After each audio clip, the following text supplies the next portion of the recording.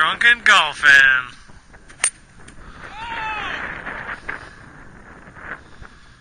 That was a nice hit. Could have went down by the fence there. See it, bro. It didn't even land yet. I'm telling you, dude. This shit didn't even land.